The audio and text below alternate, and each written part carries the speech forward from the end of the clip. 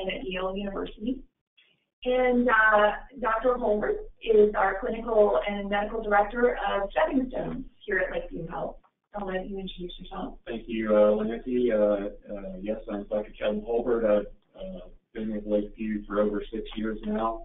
Um, I'm a staff physician and psychiatrist, uh, um, and with residencies in general psychiatry, psychiatric subspecialties, and family medicine. And this is a place I get to do all the work. Yes, Dr. Holbert has many, many uh, years of training. So we are really excited to talk to you today about co-occurring disorders. So I'm going to flip to our pre-test. There we go. All right. So these are just a couple of questions we want you guys to think about today. One is what a co-occurring disorder might be, what are common co-occurring disorders, and then with my like for just come up with maybe three examples of treatment for co-occurring disorders. So we'll be hitting a highlights on all of these. And these are our objectives today. So we're going to talk pretty heavily about neuroscience of addiction. We're going to get into the brain, really dig in there. We're going to talk about the definition for a co-occurring disorder. I want to explain uh, the epidemiology. It's pretty in-depth. Clarify what key co-occurring illnesses are um, present often. We'll talk about special populations and highlight future directions and treatments. So to start out, this is a view of the brain from the side, kind of a, a deep section picture. And one of the common things that we think about with addiction in the brain is pathways. And you'll hear us, so Dr. Holbert and I will use that term pathways um, throughout today's lecture. So pathways in the brain include a couple of different ones that are involved with addiction. You have the dopamine pathways, and then you have serotonin pathways. And as you can see, we have a number of different structures in the brain that are going to highlight when people are using drugs or alcohol. These are the structures that get involved. You have the nucleus accumbens, which you can see is pretty deep in there. You have the ventral tegmental area. VTA. VTA, exactly. And then you're going to have the prefrontal cortex. And all those three communicate with each other, and they're involved with reward.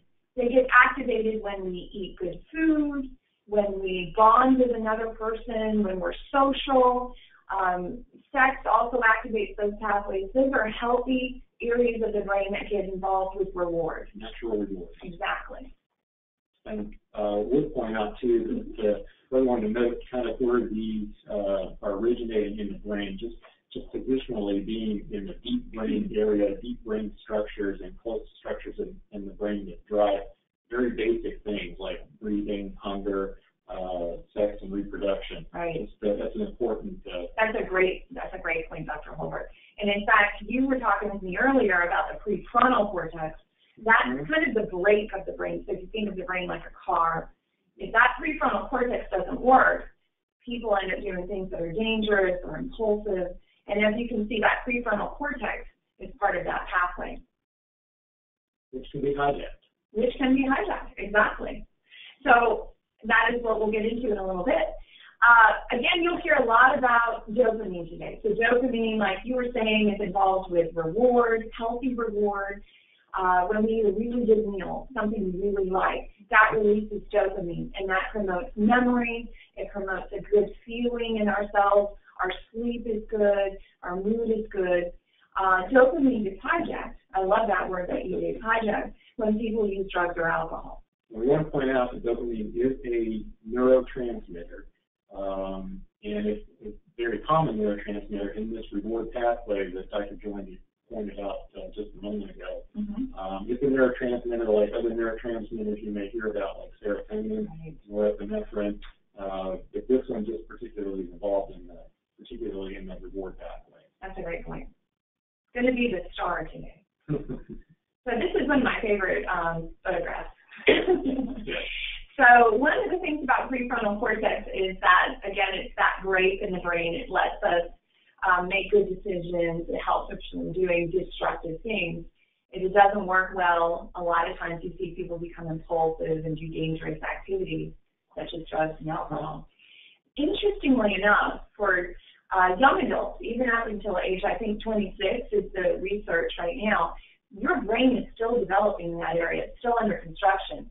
So teenagers and young adults, if they get involved with drugs and alcohol, they have a much higher risk of problems with impulsivity and dangerous activities. And uh, affecting the appropriate maturation of this center. Mm-hmm. Um, That's a great because of the point. Right, because if drugs kind of stop production or stop construction up there, sometimes people don't ever really develop a good prefrontal cortex. Exactly. Which again is the higher thought, uh, uh, risk assessment, executive planning center of the brain, or sometimes we call it kind of the on-off switch, uh, which can put in off mode whenever, uh, Whenever the reward system Yeah. over. Yeah, great point. So I, I like this cartoon, it's kind of fun, but basically this is, I think you described it as a microscopic view of the brain. So we're getting really deep into cells. This is how cells in the brain talk to each other. Uh, two nerve cells, one uh, communicating with the next, and the space in between is called a synapse. Exactly. So you can see those little balls there are chemicals. So one cell talks to the other, releases chemicals, and that just starts the whole process. I think the important thing about this picture is that we're again we're talking about dopamine. Mm-hmm. And dopamine is really one of these critical chemicals in the brain when we're talking about substance use. and uh, often substances of abuse in one way or another will activate these dopamine channels. They can inhibit the reuptake of dopamine, uh, thus, thus enhancing the transmission of dopamine. And this is really how one nerve cell talks to another. And think of billions to trillions of these cells in the brain.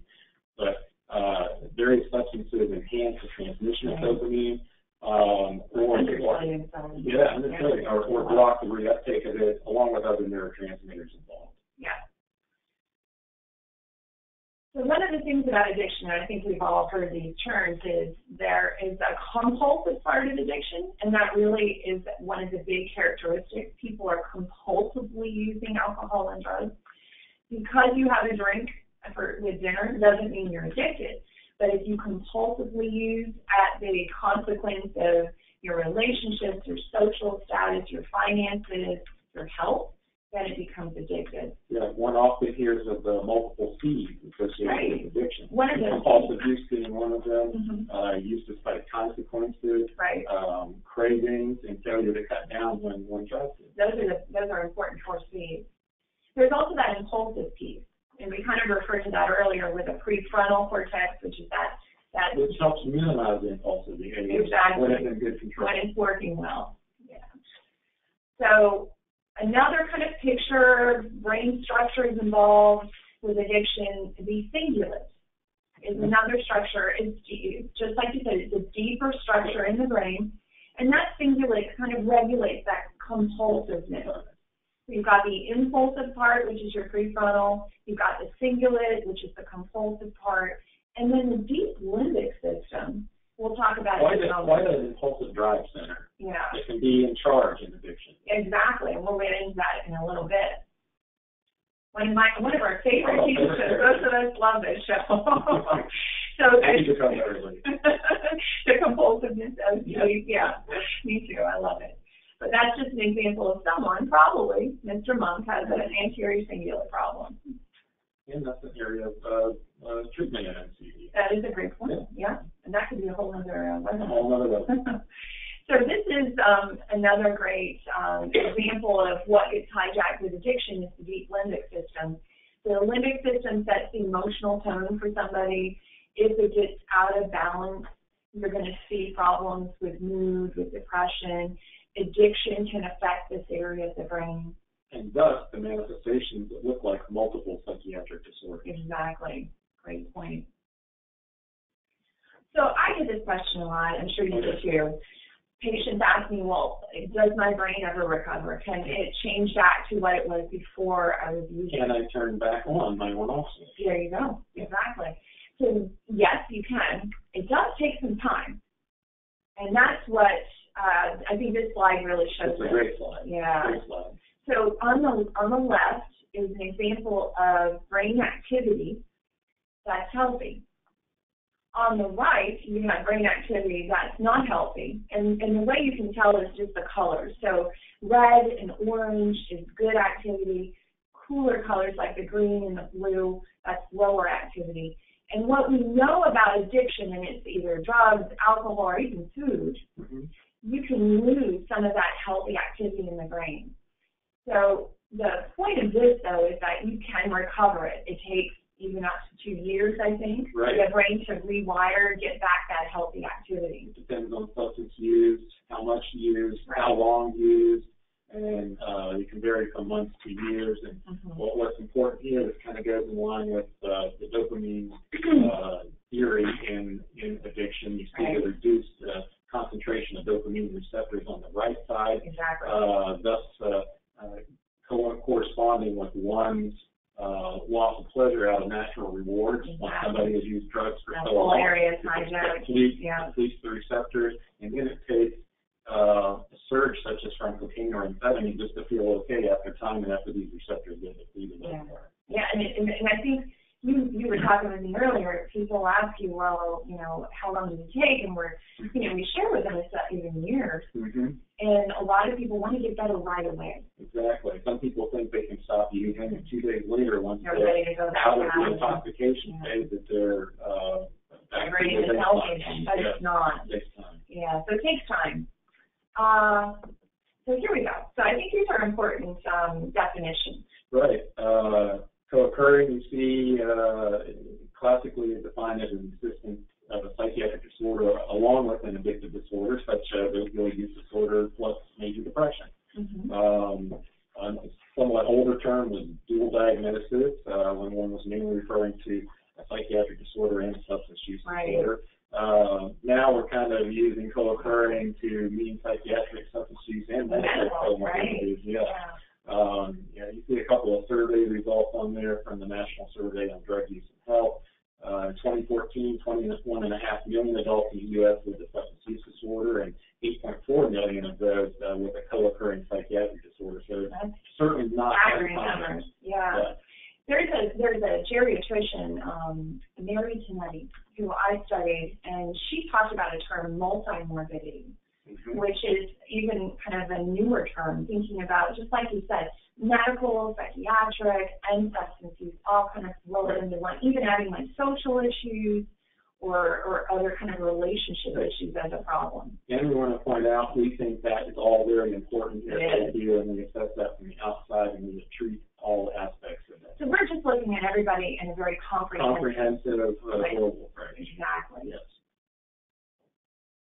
So really, you and I know Um, we talked about this this. is, uh, what we do every day here, uh, enjoy it, it is a challenge at times, uh, and that is differentiating between primary psychiatric disorders, uh, or symptoms from a substance use disorder that look like a psychiatric disorder, or is it a combination? And we help patients, uh, learn about this presentation, what it means to have one, the other, or both, and, and help them sort it out and get pointed in the right direction for the most effective treatment. Because if it is all addressed, they're definitely gonna have better outcomes. Yes, that's so important. to make And, I love we know that it mentions on this slide, you know, co- coexisting psychiatric disorder symptoms may be interpreted as poor recovery. Yeah, so that, again, it points out they need to be identified and Mhm. addressed as needed. I think that's a great point because people that go into treatment and they keep relapsing, family or even their own doctors might blame them. They're just saying, well, why can't you get this? Mm-hmm. They might not be getting it because they're not. We're missing something. missing a piece, Yeah, or more than one. or more than that, exactly. Um, this is just a, a slide to emphasize that most all of the uh, psychiatric disorders that we know of can be co-occurring with substance use disorders and should be anticipated and assessed for. Yes, and there- that's a long list. It's a long list. We're going to touch on We're gonna touch on most of them. We're not going to get into all of those because that It- would it be needs to about be a two, separate, three more uh, yeah. webinars. All right, so I'll let you take it away, but this is a very important slide. It is. Uh, I want everybody to kind of uh, look at this and think about this. Substance uh, use disorder, intoxication, or withdrawal can cause psychiatric symptoms or, or mimic psychiatric syndromes. That's, that's our title today, the Great Master Masqueraders. Uh, That was a great title. That was a good title, yeah. I like that. uh, psychiatric and substance use disorders can independently coexist, And right at the outset, we start trying to help people figure this out if that is the case. Um, psychiatric disorders can look like substance use disorders. Right. Um, for example, somebody with uh, mania may uh, appear like cocaine intoxication or methamphetamine intoxication. Um, Or psychosis. or psychosis. Mania. Yeah, Exactly. so really everyone uh, that is affected by this, interested in this, working with these patients or patients themselves, comorbidity or co-occurring should be the expectation. Not the exception. That's what we anticipate, that's what we look for. And how do we figure that out? Well, it requires a comprehensive assessment to determine all of these diagnoses. Looking at as many resources as we can Right. employ, gather information from, and for me, uh, a timeline evaluation. Um, if one can remember, if they had uh, depressive symptoms prior to starting uh, substance use, uh, or vice versa, Mhm. and if they have periods of sobriety, did psychiatric symptoms improve and resolve? Right. Uh, That's a it's very key question. That's a key question. And, and during the reassessment, here at Lakeview, we're seeing people every day. During the reassessment, keeping a flexible, working, and broad I, differential. I like that, working diagnosis. Yes. So, uh, I can, yeah, multiple addictive substances may induce. Pretty much any of them. Think there's a broad categories on there. Opiates, sedatives, hypnotics, hallucinogens, Um, synthetic synthetics, drugs like spice, assaults, the cathinones. um, you have a lot of, you know, cannabis has, it plays into, marijuana plays into psychosis, but also anxiety. Mm-hmm. Uh, Something like caffeine. Well, yeah, even caffeine, I know. We see caffeine withdrawal, we see caffeine, uh, effects. Yes. Exactly. Um, and when they're really primarily substance induced, DSM five, uh, suggests that these will develop within a month, uh, of substance intoxication or withdrawal. Mhm. And they're frequently shorter lived and, you know, if we have these symptoms persisting over time, uh, for months or longer, you That think could that it's gonna change, you're gonna be thinking about a primary co-occurring Right. disorder. Because I know, you know, when we work here at Lakeview, we see someone day one, day twenty-eight, or day thirty, they may look very different. Very different. Yeah, and so it's so important to really get that time for their brain to heal, clean out, we get a good assessment or evaluating them almost That daily. Yeah. baseline and reevaluate daily, yes. Um, To advance. There we go. There we go. So there are eleven substance-induced mental disorders that are in the DSM five. I believe that should be five rather than, that's, well, it's the number. Yeah, yeah, yeah, yeah, yeah, we got it. Minor point. Um, I was just thrown because we don't use Roman numerals that much. So you can have depression, bipolar, anxiety, OCD, psychosis, neurocognitive, um, hallucinogenic type disorders. Pretty much all of the, uh, individual psychiatric, uh, disorders that are recognized. Exactly, uh, are gonna and- pop up like and- this And present, uh, with uh, like a primary disorder with substance use. a lot. Um, So epidemiology, interestingly enough, PTSD actually, studies suggest about fifty percent of veterans diagnosed with PTSD actually have a substance use disorder too. That's a pretty high number, so that's one in two vets that have PTSD. In bipolar, we're seeing a lifetime prevalence of alcohol and marijuana in bipolar. Forty-two percent have alcohol use and 20 percent have a cannabis or a marijuana use disorder. That's, those are staggering numbers. Yeah, and what we want to stress with this, these epidemiology slides, uh, uh, not to memorize these numbers, but Right. they are significant. Yeah, And exactly. just, uh, reemphasize the point that this should be anticipated. Exactly, not, not the exception. Right. Uh, using the psychiatric research search interview for substance and mental disorders, uh, was one study conducted in folks with comorbid substance use and psychiatric Mm-hmm. disorders. Forty-one percent of them had psychiatric disorders independent of their substance use. Right. Seven percent had a substance-induced disorder only, and thirty-eight percent had both independent, uh, and psychiatric and substance-induced disorders. And I think this slide just highlights that too. You have this high, th- these things track together. So you're having substance abuse, it increases the risk of mood and anxiety. So that, that's, those are those numbers there. You can see marijuana, there's a very high track with mood and anxiety, as is any drug. But this is just something you've got to look for. Yes, and they, they do track together, but not necessarily independently. One does affect the other, um, and can complicate the course. and, and make things harder to treat. Exactly. So the real, and this is Elmo on fire, uh, the real, the real thing about all of this, I mean, we can throw all these numbers at you all day long, but the real thing is you gotta ask, you gotta look, You gotta expect, you gotta look, Right. you have to assess and reassess. Because the first impressions can look very convincingly like something that will change over time. Yeah, and we get into that in a little bit because we talk about that psychosis. Absolutely, yes. So some obstacles to obtaining Yeah. an honest, accurate history, and we see this all day. Yeah, and this, and the degree of challenge can can, can change over time as somebody gets to feeling better, but, uh, some may, some may have, uh, substance-induced dementia, they can't recall. Um, there can be a psychosis from amphetamine use and, and distorted reality, and maybe in physical or emotional pain and not really wanting to talk about their history. Uh, sociopathy may play a part in how cooperative somebody is, and uh, some people are in such denial that they truly uh, believe the distorted thoughts themselves, and, Exactly. and it makes it very convincing. Yeah, they, they really are, um, in denial, so that makes it hard. So what we like to do when we see people that come in is we actually do some objective measurements.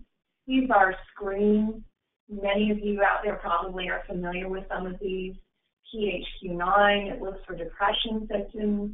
The MDQ, Disorder questionnaire. Mm-hmm. uh, generalized anxiety disorder, the GAD-7 test for a lot of anxiety symptoms, uh, treatment response scale kind of a global scale. So we do all of these, a wellness scale. When people come in, we do these tests, and interestingly enough, we do them when they leave.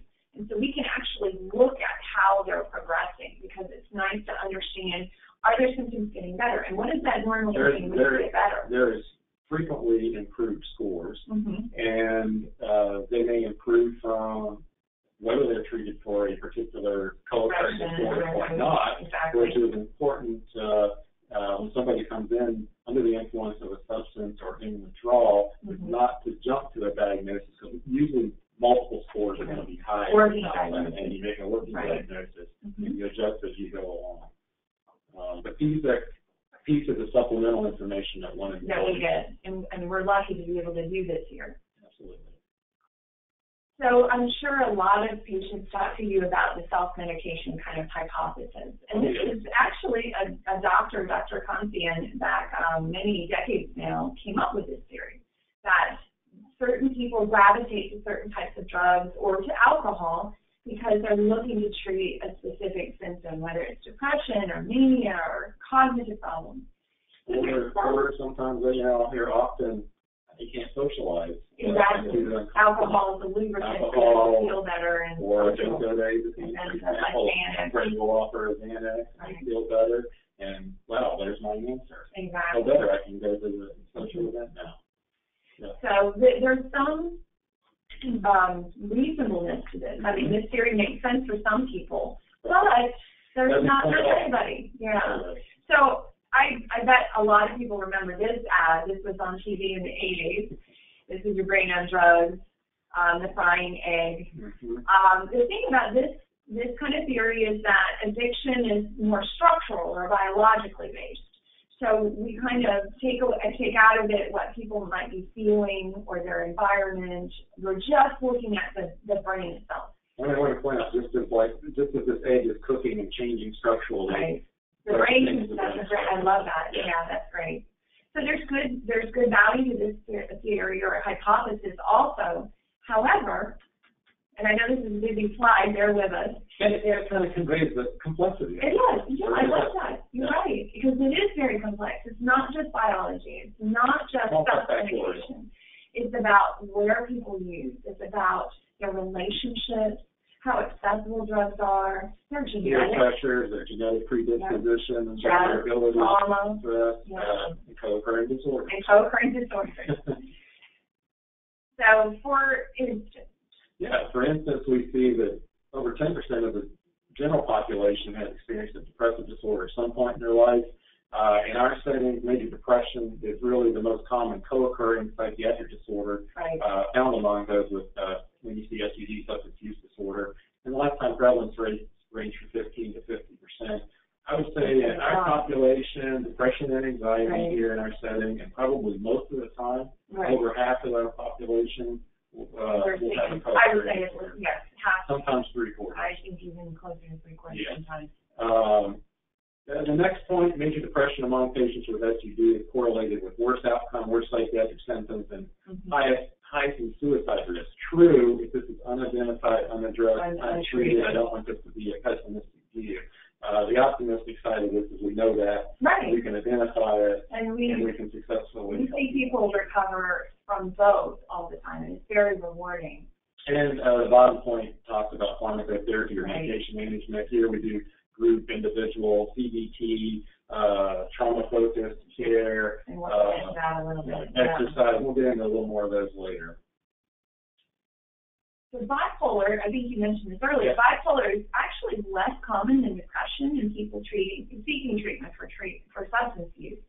However, there's a stronger association. Somebody actually has a, uh, uh, a primary bipolar disorder, uh, increases their likelihood of, of substance use disorder by by four to a factor of four. So Yeah. there's a strong correlation there. Yeah. Somebody has an established bipolar disorder.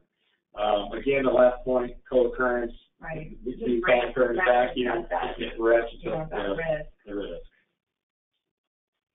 And in general, um, mood symptoms are really quite common because there's just various substances, whether they're intoxicated, whether people are on withdrawal. Um, and it's really a Any challenge. phase, Any phase, yeah, uh, of- to figure out what's going on. Yeah.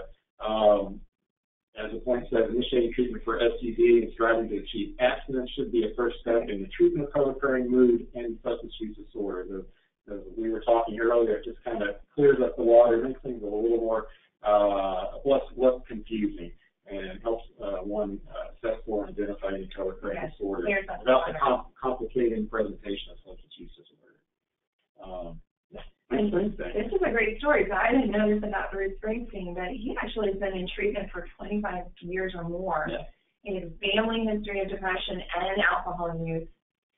So the point of this slide is really that addiction and mental health does not discriminate. not discriminate, it's equal opportunity, and it's like the third Uh, point on here, yeah. fame and fortune did not prevent or treat his depression Balance, exactly. He still struggles. And he attributes his recovery to having a good doctor, good treatment, therapy. It got him back to a really healthy place. Reaching out, getting the help that is available, Exactly. and people don't have to live in darkness with it. Exactly.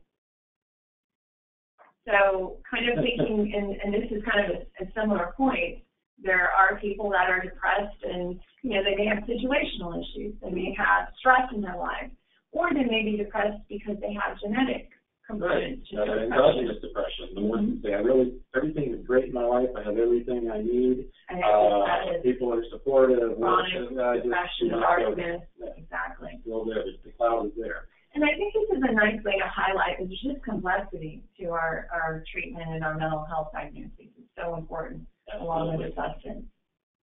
The one thing I see a ton of is anxiety disorders here, anxiety, anxiety symptoms. Yeah, in the primary care population, twenty percent of patients will have at least one anxiety disorder. And, and that's important to point out too, a lot, a lot of these folks, uh, will present to primary care, Right, Setting. right, not to a psychiatrist. not, Yeah. they don't call up their psychiatrist or call up an addiction They treatment. may not have any, right, Uh, so access is often in a primary care setting. And this Great is point. important for, uh, uh, those on those assessments, primary care. be aware of vigilant, yeah, Yeah, you see a spasm generalized anxiety at eight percent, panic disorder seven percent, Mhm. social anxiety at six percent. Um, and what we see here is a diagnosis of one or more of these anxiety disorders can precede substance use up to eighty percent. that's wild. Yeah, and as we pointed out on, in other conditions, there's quite a symptom overlap. Uh, and, uh, one can modify the presentation and treatment course for the other. Right, Again, super important. Again, So thinking about that relationship between alcohol and substance, alcohol use uh, and anxiety, you're going to see earlier use with alcohol when someone has an anxiety disorder. Yep, and anxiety, early anxiety is associated with starting smoking earlier and all of this uh, wonderful health non-benefits. exactly, and there's a, just a double um, lifetime prevalence of uh, anxiety and opiate use disorders. And I hear cannabis, cannabis, Yes. cannabis, I need to, I need to smoke to feel okay. I know. How many patients, yeah, that all the patients time. tell us all the time. And I think you, you brought up a great point, is that there's a short-term initial relief that people might get with cannabis or marijuana use. Mhm. The long-term risk is much greater because what's happening is it's just making that anxiety worse, and there's a whole host of other problems that come with Yeah, marijuana I see it as a trap. Whether somebody's using, uh, cannabis to relieve their anxiety acutely, having a, uh, a drink, uh, or taking opiates to, Or- to relieve yeah. emotional or physical pain, in the long run, all of it gets worse. It all gets worse, Yeah. exactly, and there's other things that happen. So thinking about, um, next one, here we go, psychotic disorders. So this is a very interesting slide because most, there are a lot of substances you wouldn't even think about necessarily that can contribute to psychosis. Yes, I, see- I see it frequently with the higher concentrations of cannabis. Exactly. Um, definitely you can see it with cocaine, you Mhm. can see it with particularly these days methamphetamine. Yes, Um, obviously the hallucinogens, but maybe they're not quite as common on presentation as, Right. as they have been, but, right. uh, the amphetamines, uh, Even alcohol. and alcohol, Yeah, I yeah. had a condition with alcohol. Mhm. And uh, it looks, you know, looks like at least less than fifty percent of people still have psychosis after they give sobriety one month.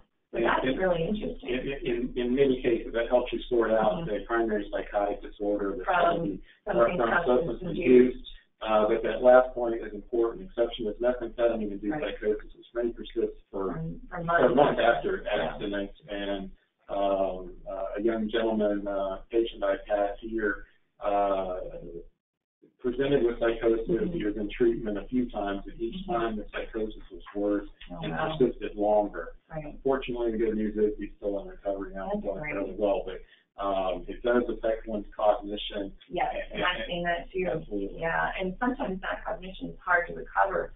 I think another important point that this slide brings up is treatment needs to go on beyond that first month if you're inpatient. Absolutely. Again, we're talking about talking about the timeline. Exactly. our facilities, we educate, we detox, Mm-hmm. uh, we formulate a treatment plan, we make improvements, but this is That's a chronic brain disorder, it's the beginning, it's the step. We, what's important in any treatment setting is coming up to the plan for continued The long sobriety. All the aftercare that's needed, whatever you need in the aftercare. So, that's what we stress here. Exactly, and I think that's so important. So I think these numbers are amazing. Up to half of people with schizophrenia have a lifetime history of substance use, and that doesn't And that include tobacco and, and smoking, Yeah, which maybe, as it's pointed out, uh, seventy to ninety percent association. right? And and all the bad health issues that come with tobacco, heart disease and uh, respiratory Which is illness. another whole topic. Exactly, another webinar that will come up next month. Um, and so again, you get back to that idea that a comprehensive assessment has to include a longitudinal history. You look at the symptoms, you look at just that collateral history, so talking to family or uh, people in their lives that know them really well, and then really looking for those medical conditions that are exacerbating or making these other issues worse. Right, and it says in one point, intoxication, withdrawal, delirium, dementia, uh, and other primary psychiatric disorders such as, uh, uh, major depression or mania from bipolar disorder Right. can all look like a primary psychotic disorder. You know, and, and, and true as well is what we're seeing with marijuana specifically. There are populations that are more affected by marijuana. They could, marijuana is theorized to trigger certain genes Mhm. to turn on and, and turn someone into a primary Primary psychosis, psychosis, Yes. uh, you know, that, like uh, schizophrenia. mhm. I had a young man who um who used a lot of high concentrated THC, and enough over time he was diagnosed with schizophrenia, independent of the cannabis use. So it's really it's really quite um remarkable to think about the complexity of that. very impactful. So, uh, you know, some of the challenges about psychosis and substance is when you treat, how do you treat? You have to really integrate treatment. You can't leave Right. one at the, at the expense of the other. You can't have a narrow scope. Right. uh, in treating addiction. Um, you can treat the addictive disorder, but if the other co-occurring conditions, problems, disorders aren't uh, uh, assessed for, identified, treated, uh, long-term uh, uh, probability is much less. is much lower, Yeah. exactly. And this is a topic that comes up a lot for us, but then pivoting from psychosis, ADHD. Yeah, I have a, a lot of people that will present and say, I'm ADHD. Um, and you really sort that out, and uh, a lot of them, it's, it's questionable. Uh, as it says on the slide, ADHD is over uh, represented with substance use disorder. Mhm. Coexistence can reduce the effectiveness of treatment for either one of them. If it is there, it should be identified and Right. appropriately treated. Right. Uh, but lots of times I'll have uh, uh, uh, patients present that reported they have a history of ADD, and I said, well, when did it start? Mhm. Well, uh, when I was 40, and I was going to law school, and I needed to concentrate for my exams, and I went to a doctor, and, We gave them and they gave him some Adderall, and he concentrated better. Mhm. Well, uh, Well, you, you you, might- you might really you might concentrate too, better, but that right. doesn't mean they have ADHD. Exactly. So it's really critical to get that history again of symptoms and when they started. And I think it's also really hard to tell if someone has ADHD when they're in detox or they're in Absolutely. kind of longer term withdrawal because their their brain is just trying to reestablish a baseline. Right, and if they're still under the influence and, and any withdrawal, attention span is often It's pretty quite short. minimal. Um, but uh, it does, as the slide points out, adolescents with ADD do do demonstrate Right. earlier onset of substance use. substance use. So I think it, it's all the more important for the child psychiatrists, the pediatricians, the parents to really be in tune with symptoms and, and when people are much Provide younger. good education and guidance. Exactly.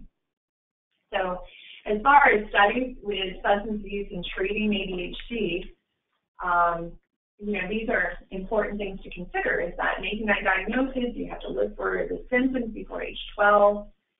Uh, people really should be sober for at least two to four weeks. I would really move towards a longer. longer period before you make that diagnosis. Mhm. And we're really looking at what the risk factors are if there are adolescents with ADHD that don't get treated. Right, it's, it's not really certain whether ADD alone increases the risk for later substance use disorder, but uh, when it is present, uh, it affects one's treatment response to substance use disorder if it's not identified and, Right. and addressed, and it would increase the risk of heavier uh, substance use. Exactly. And there's really no clear cut This is a good guidelines. Yeah, we hear this all the time. Can I be on my Adderall in recovery When it comes to treatment. And come of treatment? And you know, there's no clear cut guidelines. And and to be um, perfectly frank, I would be very nervous about putting someone on a stimulant um, when they're in recovery. And often, what I would love to see people do is change their lifestyle, ensure that they're getting good sleep, quality nutrition, exercise. There are non There are Stimulant non-medications for ADHD are options, well. uh, Exactly. such as Wellbutrin, Clonidine, Clonidine, Strattera, Strattera. and we do offer those in We do. this setting We if those medication is if it's appropriate. Yeah. So trauma is another huge topic for us here. But we even have a separate track, Yes, here at Lakeview. specialized track for those uh, with a history of trauma. So it's estimated in general that between 40 and 90 percent of the population have been exposed to some traumatic event at some point. Right. Uh, the ones that experience a trauma, 10 to 20 percent would develop PTSD. Uh, DSM-5 indicates a lifetime prevalence of around 8.5 percent. Yeah. Um, and the National Comorbidity Replication Study found prevalence around 6.8. Mhm. Um, and there's, again, strong co-occurrence between PTSD and substance use disorder. And particularly in our veteran population, uh, more than two out of 10 with PTSD also had a substance use disorder. And one out of three veterans seeking treatment for substance use also had uh, PTSD. And I've seen that uh, uh, verify out in our uh, in our population too. And also PTSD precedes substance use. So again, this is a slide kind of highlighting, and I wish we had a, a nice picture too, a brain structure picture, but the the patterns and the pathways, the neural pathways in the brain that are activated with trauma are also very similar to the ones activated with substance. So again, you're thinking about that um, that break in the brain that doesn't turn doesn't turn back on, that doesn't reduce that chronic fear people develop with PTSD. The, the, the mood and anxiety dysregulation that's, uh, that's uh, triggered by activation of these uh, circuits. Exactly. So, um, for instance, assessing this, you, you really want to do it post intoxication and withdrawal. You don't want to capture someone when they're in an active detox because you're not going to get a good picture. But you're always wanting to be that, using that working diagnosis. New diagnosis, and we mentioned the clinic, clinician administered TPS Right. scale for DSM five, there are other Mhm. scales available. It's just an example of another way of gathering, uh, data. Measurable data. measurable data. Data, And in addition to one's interview and any other Right. information and collateral. And then there are, there are treatments for PTSD, and they can include medicine, they can include specific therapies. Um, we use a number of those therapies here uh, at Lakeview. We did want to talk about benzos and PTSD. Yes, that's a great point because they actually have done some studies on benzos and PTSD. Benzos like Xanax and Valium and Klonopin actually make PTSD worse in the long term. So it goes back to what you were saying about The trap. marijuana, the trap. Mhm. is that you feel better in that short interim period, but the longer you use, the worse your symptoms can become. So that's a really critical piece of it. And some will ask, well, if I had an event last week, Mm-hmm. you know, and it's really affecting me, is there anything I can take to block the development of Yeah. PTSD? And nothing really Nothing reliable we have. Yeah, we haven't identified anything yet. I say engaging in whatever therapies would be indicated uh, as far as the medication, I don't know. I think that's just lost. Personality disorders, we'll just touch briefly on these, we want to stay on time, but there are high prevalence of the cluster B dramatic personality and uh, substance. Borderline, histrionic. uh, And social, most men get diagnosed with More antisocial. so than that. women about borderline. Those are very common in treatment settings. Exactly. And, And affect, uh, one's Their progress treatment and outcomes. affect treatment outcomes. yeah, but, but you can treat people, so it doesn't mean that they can't get healthy. Um, we actually do, uh, recommend that they integrate treatment for the personality disorder in the treatment for the substance use, because you, there are a number of good therapies out there. Absolutely, and occasionally pharmacotherapy or medications can be Right. uh, applied for specific symptoms. So just a touch, um, to touch on special populations, so suicide, overdose deaths, and polydrug use. This is a, an area that I'm sure everyone's heard a lot about in the news. Those numbers are really unbelievable. Seventy-two thousand people lost in twenty seventeen alone from an overdose death. And fentanyl is really the culprit, and this, this not, this kind of graph here, it tracks drug overdose deaths starting from like nineteen ninety-nine up until twenty seventeen. And I think the important piece of this graph is a lot of lines and everything, but what to take away is that we saw a spike in heroin around 2015 contributing to drug overdose deaths. But what we're also finding is that fentanyl and, uh, well, prescription deaths in 2010 were a big issue, oxycodone, but heroin and now even fentanyl, you can see fentanyl is like number six on that list from 2014, is contributing to drug deaths as well Rising notoriety. rising notoriety. And here in Jacksonville, we're seeing a ton of fentanyl-related overdose deaths. Yes, uh, with uh, many more patients reporting uh, they what Right. they thought was they they were taking heroin tend to be uh, laced with some degree of fentanyl, not almost entirely fentanyl. fentanyl, Exactly. which is quite a surprise uh, related to and what their tolerance has been previously. I know. And, and that way it contributes to The overdose. overdose deaths. And then, again, this is just highlighting that high fentanyl risk. And you can see it's continually tracking higher throughout from 2014 on up. So an example of, of this kind of uh, phenomenon is Demi Lovato, who actually just celebrated a year of recovery in July, and she was on the cover of People magazine. Mhm. But she actually had an own near fatal overdose in July of 2018, and she thought she was getting one drug, oxycodone, and it turned out it was laced with fentanyl, and it, it had a number of other things in it. And she almost died because of this, but she got Narcan. Yeah. Narcan, and we just want to take a quick aside on Narcan, is a lifesaver. It can bring someone back from, liter- it's a Lazarus drug. Mhm. However, it's not treatment. It just saves a life. It doesn't mean that it's treating someone for that substance use. So get someone Narcan if they're in an overdose, but then get them in treatment. Absolutely, and, and we suggest uh, to all of our patients uh, on discharge, uh, we offer them Narcan prescription. Exactly. It's available now in a nasal spray formulation, which is So easy to administer. It's safe. Um, if someone is suspected of an opi- opioid overdose, uh, this may save their life even if uh, they've already stopped breathing for Exactly. a short period of time. Exactly. They should keep it with AEDs. You should have, everyone should really have Narcan with them. Travel with it on a plane. Exactly. Given the statistics we saw in the recent slides, uh, You Narcan should should save a be life. uh, pervasive in the environment and available. Now, this slide is just meant to highlight the idea that um, suicide is, is really baked into um, substance use, overdose deaths. Is I, my suspicion, I know you and I talked about this. There's a high likelihood that people that are just labeled as an accidental overdose and may not be. They may Right. be so depressed that they kind of wish they didn't wake up in the morning. Right, uh, they, they really may not have a, a definite plan, uh, to overdose, but I often have patients tell me, uh, that they became more reckless, not worrying about the amount they were using, calculating, Yeah, and, uh, they didn't, uh, didn't mind if they didn't wake up. exactly. And I'm sure a lot of that doesn't get calculated into the, And it's, uh, yeah, I can imagine it would be hard to measure, but it's an important thing, I think, to highlight that comorbidity. And, and the risk is really high for women. And I think this slide, along with, um, a few other things we're gonna show you, really highlights that women are at particular risk. Uh, you can see here, the darker blue is where we see a, a spike with overdose deaths, and Florida is dark blue. we're, we're included.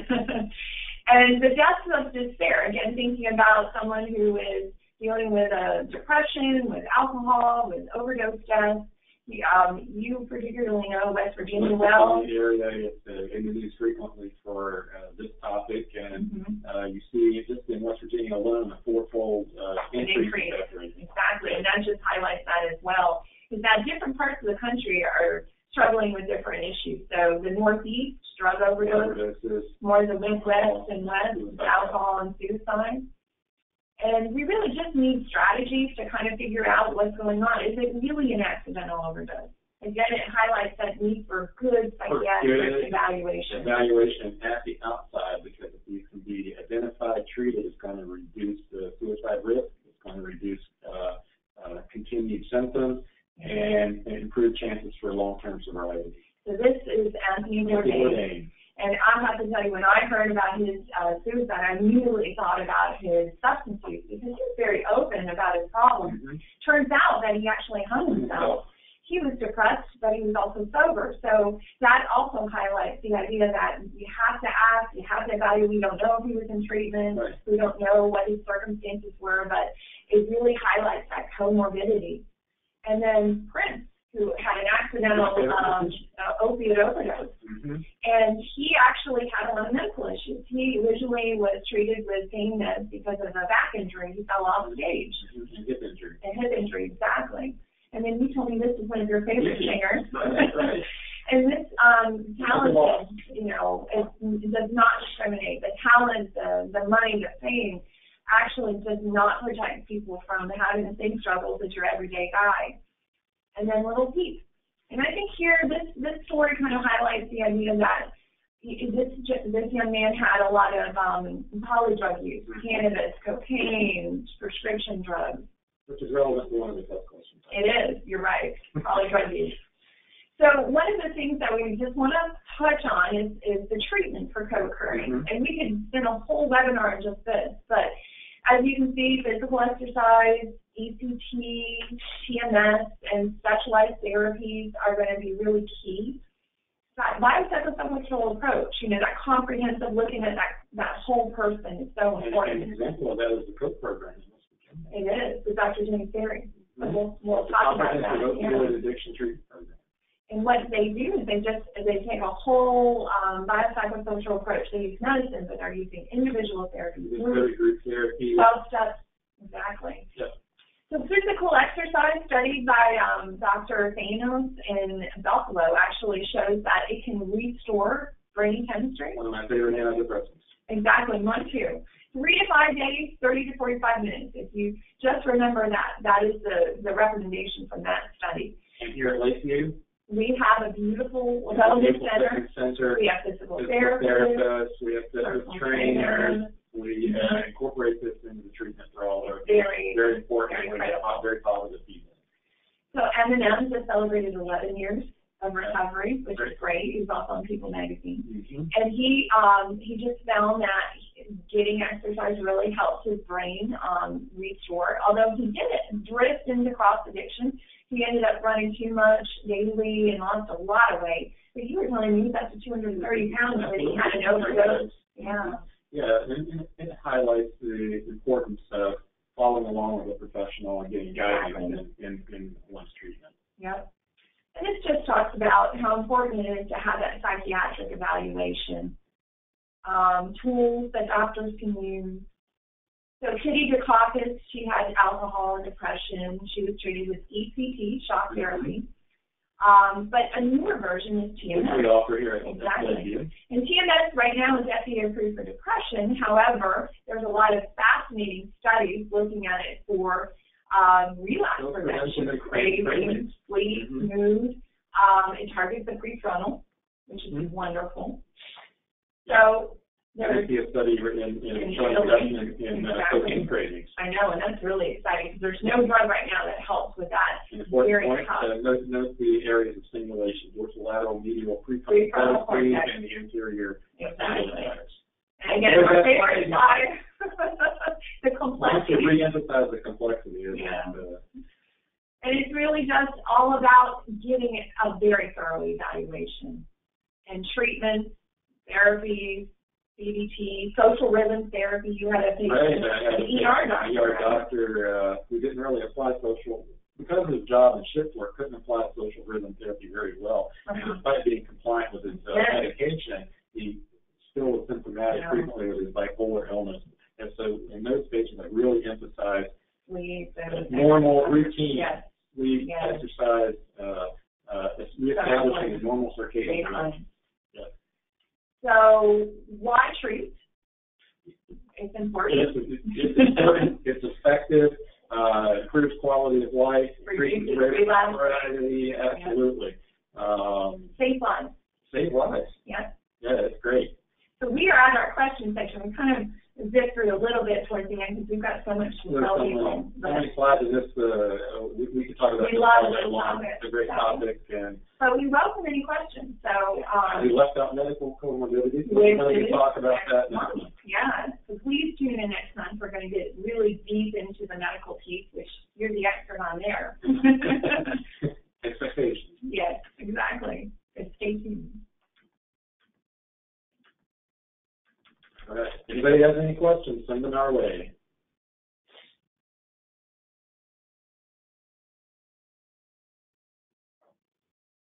Well, we really did well, or we really confused everybody. Oh.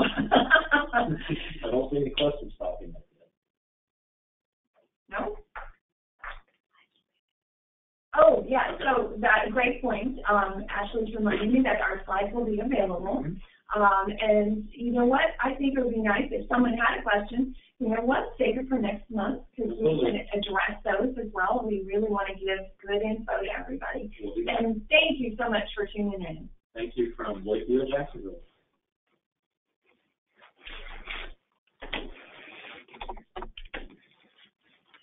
Yes.